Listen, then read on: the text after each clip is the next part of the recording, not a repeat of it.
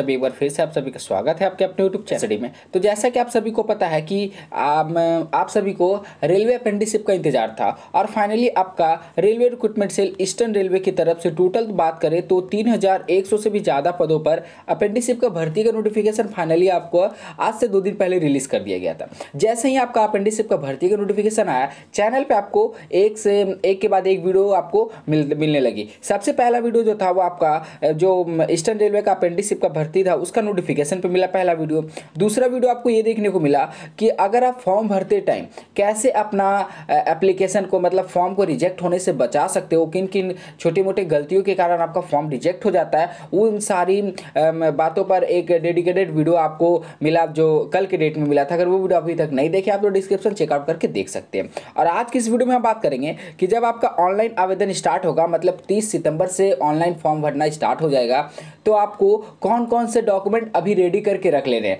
बहुत सारों का होता है कि, सर, मैं घर में नहीं हूँ, बाहर में हूँ, मेरे पास डॉक्यूमेंट नहीं कैसे अपलोड करना है? तो मैं अभी कुछ डॉक्यूमेंट का लिस्ट बताऊँगा। वो डॉक्यूमेंट आपके पास होना ही चाहिए। अगर आप इसका ईस्टर्न रेलवे का फॉर्म भरना चाहते हो तो वो डॉक्यूमेंट आपके पास कंपलसरी है कि होना चाहिए। बिना वो डॉक्यूमेंट का फॉर्म फिल नहीं कर पाओगे। तो चलिए, आज की वीडियो की शुरुआत करते हैं और इसके लिए सबसे पहले हम चलते हैं इसके ऑफिशियल एडवर्टाइजमेंट पे, जो आपका ईस्टर्न रेलवे की तरफ़ से रिलीज़ किया गया उससे पहले जो लोग भी चैनल पर नए, फटाक से चैनल को सब्सक्राइब करके बेल बटन ऑन कर दीजिएगा ताकि इसी तरह इन्फॉर्मेटिव वीडियो का नोटिफिकेशन आप तक पहुँचते रहे। डिस्क्रिप्शन में ऑलरेडी व्हाट्सएप ग्रुप का लिंक मिल जाएगा, आपको ज़रूर से ज़रूर ज्वाइन कर लीजिएगा। छोटे मोटे अपडेट पीडीएफ ज्वाइनिंग मेरिट वगैरह वहाँ पे आपको देखने को मिलते रहते हैं। तो देखिए, हम आ गए हैं आपका नोटिफिकेशन के सीरियल नंबर एट पे, जहाँ पे आपको डॉक्यूमेंट टू बी अपलोडेड करके यहाँ पे लिखा हुआ है। अगर सबसे पहला डॉक्यूमेंट आपको बात करेंगे तो स्कैन फोटोग्राफ फोटोग्राफ को आपको स्कैन करना है। क्या क्या फोटोग्राफ में देना क्या साइज़ रहेगा वो देख लेते हैं कि candidate are required to upload their good quality and contrast colour photographs not more than three month old at the space provided in the online application form. The scan photograph should be in jpg slash jpeg format and uh, within the specified file size as maintained in the application form. The photograph should be clear without cap uh, or sunglasses and uh, should have defined edges. The uh, candidate should uh, also keep 10 copy of same photographs for future purpose. अब देखिए, सबसे पहले हम बात करके detail से कि आपको स्कैन फोटोग्राफ्स में क्या बताया गया है। कि आपको सबसे पहले ये बोला गया है कि आपको जो फोटोग्राफ आप अपलोड करिएगा, वो गुड क्वालिटी का होना चाहिए। कॉन्ट्रेक्ट कलर जो है, उसमें बहुत अच्छा होना चाहिए। और आपका जो फोटोग्राफ्स है, वो तीन महीने से ज़्यादा पुराना नहीं होना चाहिए। और फोटोग्राफ्स को आपको उसी जगह पर अपलोड करना है, जहाँ पर उसका ऑलरेडी जो जो जगह हुआ है, जो स्पेस है, वो बना हुआ है। और फोटोग्राफ्स आपका जो होना चाहिए, वो जेपी जेपीजी या फिर जेपीजी ईजी फॉर्मेट में होना चाहिए। फोटोग्राफ फोटोग्राफ्स एकदम क्लियर होना चाहिए। विदाउट कैप कोई भी कैप या फिर सनग्लासेस नहीं होना चाहिए फोटोग्राफ्स पे, नहीं तो फॉर्म आपका रिजेक्ट हो जाएगा। ध्यान से सुन लीजिए, ठीक है? और बात करें तो जो भी आप फोटोग्राफ्स को अपलोड करिएगा, उसका कम से कम दस कॉपी रख लीजिएगा, क्योंकि जब आपका डी ज्वाइनिंग वगैरह होगा तो सेम फोटोग्राफ्स को मांगा जाता है। तो कम से कम आपको दस पीस फोटोग्राफ्स को सेम फोटोग्राफ्स को कॉपी करके रख लेना है। चलिए, ये बात था फोटोग्राफ्स का जो हम लोगों ने कवर कर लिया।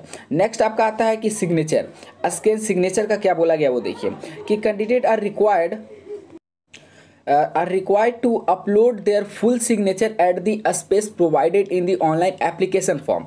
देखिए आपको ये बोला जा रहा है कि आप अपना फुल नाम ऐसे नहीं कि जैसे गिजमिस टाइप का जिगजैग जिगजैग टाइप का साइन कर दिए और सिग्नेचर अपलोड कर दिए वैसा नहीं। पूरा नाम के साथ आपका सिग्नेचर होना चाहिए। और एक बात का ध्यान रखिए मैंने कल का वीडियो में बताया था कि आपको जो सिग्नेचर है वो ब्लॉक लेटर या फिर आपको कैपिटल लेटर में नहीं करना है नहीं तो फॉर्म रिजेक्ट हो जाएगा। वो वीडियो पहले एक बार ज़रूर से ज़रूर जाके देख लीजिएगा ऑनलाइन फॉर्म अप्लाई करने से पहले। ठीक है? तो आपका जो है फुल सिग्नेचर जो अपलोड प्रोवाइड जो स्पेस रहेगा, वहाँ पे अपलोड करना।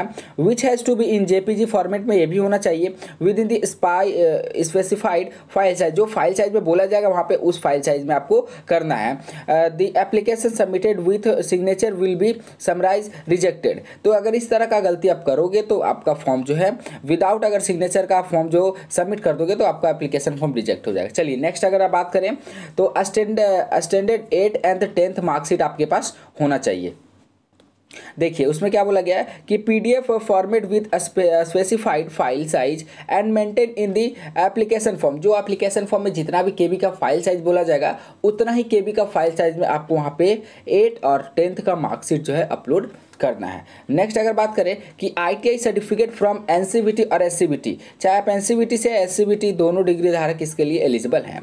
तो देखिए PDF format with the specified file as maintain in the application form same इसका क्रिटेरिया भी वही है। सारा का सारा आपको, देखिए, जो भी आपका सर्टिफिकेट और मार्कशीट वगैरह है, इसका आपको फोटोग्राफ्स में नहीं अपलोड करना है जेपीजी फॉर्मेट में अपलोड नहीं करना है। इसको जो अपलोड करना है वो आपको पीडीएफ फॉर्मेट में करना है। देखिए, आपको बताया गया है कि पीडीएफ फॉर्मेट में जितना भी सर्टिफिकेट है, सारा का सारा आपको पीडीएफ फॉर्मेट में करना है। अब बात करते हैं कि आते हैं अब आपका community certificate for S T S C O B C या फिर E W E W S जिससे भी बिलोंग करते हैं। तो देखिए PDF format will be specified size maintain in the application form सारा में वही गया सारा का सारा आपको पीडीएफ पीडीएफ में कन्वर्ट कर लेना जो आपका फोटोग्राफ्स रहेगा या फिर इमेज रहेगा, उसको पीडीएफ में आपको कन्वर्ट करके ही अपलोड करना है। ऐसा नहीं करिएगा कि जहाँ पे पीडीएफ बोला है, वहाँ पे आप जेपीजी फॉर्मेट में फोटोग्राफ्स अपलोड करें तो सीधा सीधा फॉर्म रिजेक्ट हो जाएगा। इन इस बातों को ख्याल रखिएगा।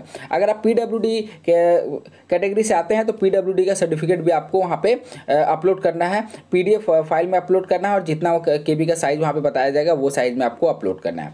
देखिए नोट में भी आपको कुछ बातों को बताया गया है कि all all format of the community certificate E W S certificate and P W D certificate shall be as per the document upload in the website तो जो भी आपको फॉर्मेट बताया गया है, जो कास्ट सर्टिफिकेट और पीडब्ल्यूडी सर्टिफिकेट उसी फॉर्मेट में आपको अपलोड करनी है। चलिए यहाँ पे एक दो पॉइंट को बताया गया है, वो भी आपको ध्यान से देख लेना है कि देखिए all other relevant column in the application form should be filled by the candidate और भी जितना कॉलम रहेगा, सारा आप कैंडिडेट के द्वारा फिलअप करना है।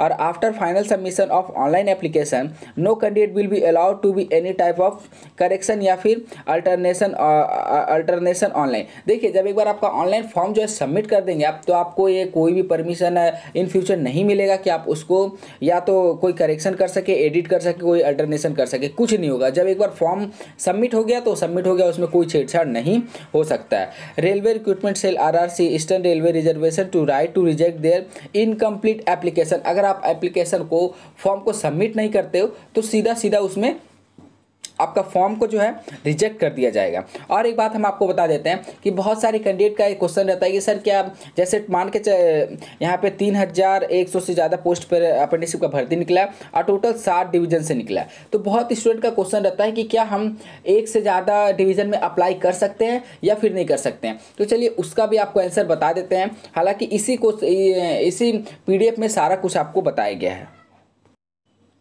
तो देखिए, यहाँ पे आपको सीरियल नंबर नौ में यहाँ पे देखने को मिलेगा। नौ में आपका यहाँ पे जी ऑप्शन में देखने को मिलेगा कि more than one application by single candidate अगर आप ऐसा करते हो तो आपका फॉर्म रिजेक्ट हो जाएगा। मैंने कल की वीडियो में भी इस बात को बताया था। अगर आप नहीं देखें वीडियो तो मैं आपसे रिक्वेस्ट करता हूँ, एक बार ज़रूर से ज़रूर जाकर देखें, ताकि ये जितने सारे रिजेक्ट के रीजन है, वो आप सबको पता चल सके। ठीक है? क्योंकि ऐसा, देखिए, मौका बार बार नहीं आता है, और हज़ारों की संख्या में रेलवे का अपेंडिक्स बहुत कम रिलीज़ किया जाता है। चुनिंदा जो डिवीज़न है, उन्हीं से आपको देखने को मिलता है। तो आप सभी याद रखिए कि जिस भी डिवीज़न से आपको फॉर्म अप्लाई करना है सिर्फ़ एक ही डिवीज़न से आपको फॉर्म अप्लाई करिएगा। ये नहीं कि आपका हावड़ा से भी कर दिया, आसनसोल, मालदा, जबलपुर से भी कर दिया, ऐसा गलती नहीं करिएगा, फॉर्म सीधा सीधा रिजेक्ट हो जाएगा। ये मैंने बातों को इसलिए दोबारा बताया क्योंकि बहुत का अभी भी डाउट है, वो वीडियो पूरा नहीं देखते हैं और फिर वीडियो को आधा अधूरा छोड़कर ही उसमें कमेंट करते हैं कि सर ऐसा हो सकता है। तो मैं रिक्वेस्ट करता हूँ कि वीडियो को एंड तक ज़रूर देखिए, चाहे किसी भी अपेंडिसिप कोई भी ज्वाइनिंग मैरिड वगैरह का